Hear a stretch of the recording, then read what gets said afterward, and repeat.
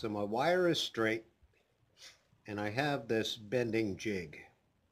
I don't use pliers because I have a, a problem with that. You don't get it very accurate all the time. But this works very well. This is a post. I drilled a hole in a piece of aluminum, three quarter inch aluminum. And I have a little post. It's not perfectly straight, but it does the job. I marked my copper at the center of the long piece. And uh, you just take and get your fingers on, fingertips on there and evenly bend it around. I'm making a right angle, but in this case, I'm pulling it all the way around because I want to make a more secure loop. Now I do this by taking this tool, this gripper, this crimper, uh, it's a end cutter, has a lot of different names. I really don't know what they are. But I get that on there and I continue to crimp it together. You don't want to dig into your copper. And I take this and I bend that back and bend the other side back. And you continue to pull that together. Now that makes a nice loop. It's nice and tight. It's actually, it gets off a little bit. Take your trusty hammer and flatten it. Now I also want this loop to be a little bit flat so it sits well under the washers and under the screw head. So I'm going to just tap lightly and flatten that out. You can see it gets a little bit flat. And that's all we want was just flat surface for the screw head, the washer, whatever to grip. And we want a right angle. So we have a right angle, a nice right angle and uh, that works really well. Now the next part is tricky. Okay, I've turned this uh, copper over because the next bend in our zigzag pattern goes in the opposite direction.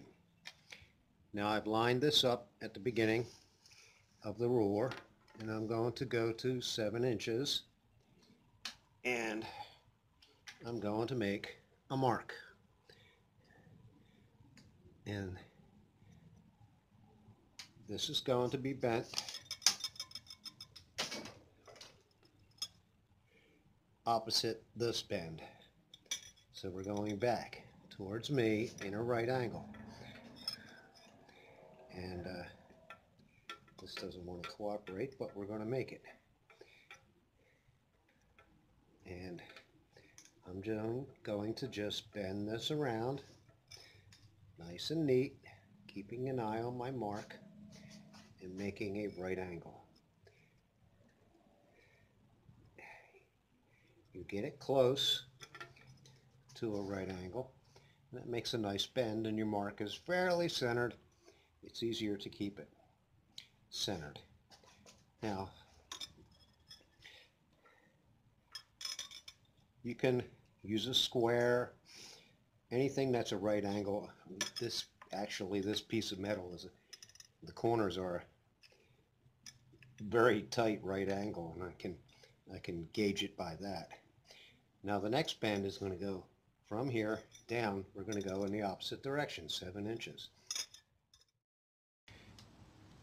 So I place my ruler in the corner, slide down,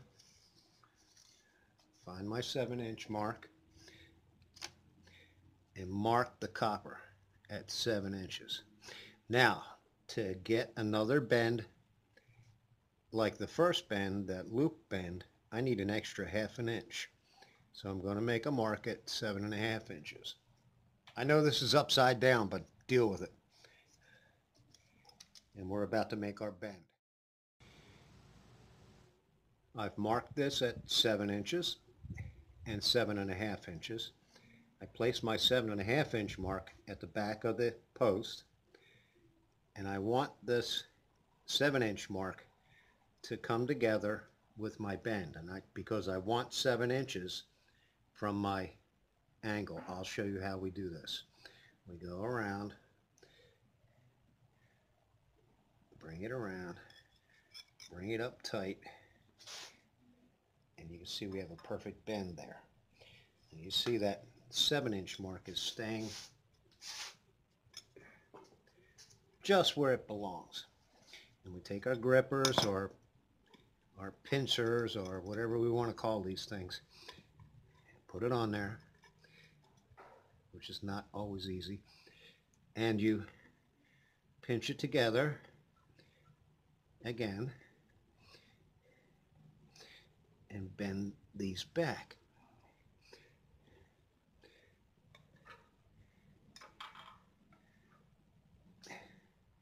Continue pinching and that keeps your seven inches. That keeps your measurement right from here to here. So between these two these two bends we have nice seven inch space. And you have to take and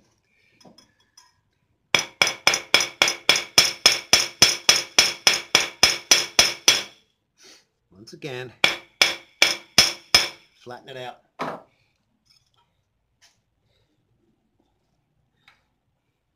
And you have a nice loop. Now the reason I loop these is because I'll show you. When you have a right angle and it goes over a screw, there's not a lot of holding power even with a washer, you end up with a lopsided, a lopsided joint. Let me put it that way. But when you have a loop, here's an older loop. When you have a loop and you place that on there, and you put this screw on, and if you add a washer, you get a nice joint you get a nice flat setting joint and your, your copper can't work its way out. The way this loop is made, you're keeping your angles in the proper uh, perspective and uh, you have a nice tight joint so your antenna won't fall apart because in the wind all this stuff gets vibrating around and and a joint that's just looped in here just a little bit. I mean, it's not even half the screws. It's just maybe a quarter of the screw head is holding it down. You're losing three quarters of your holding power. So this works out better. Now I'm measuring seven more inches. And this is an outside bend. So we're bending it back towards our loopy bends and here's the right angle.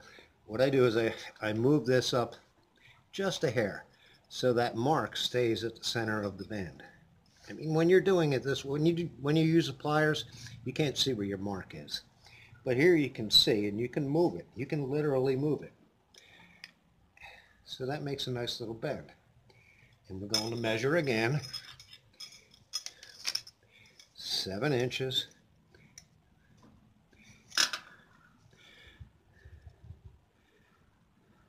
Plus a half an inch.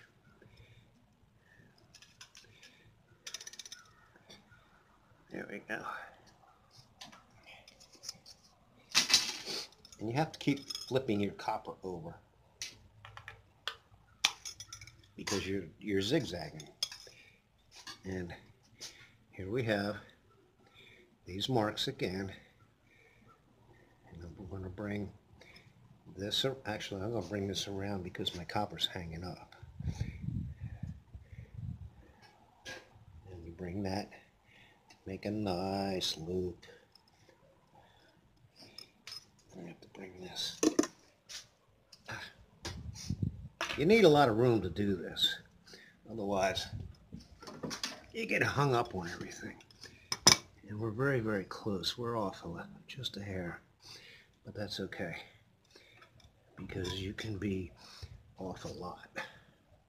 And still come up with a good antenna. It's a matter of holding up in the weather. Ooh.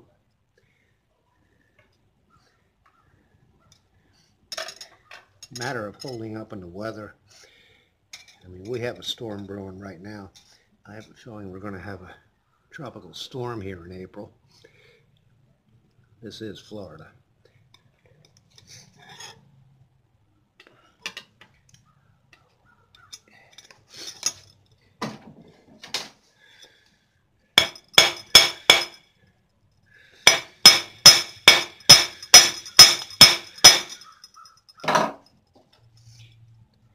As you hammer these things, they have a tendency to move. So you just tighten it up. And adjust your angles. And you have a nice loopy joint. A very nice loopy joint. So here we have a copper.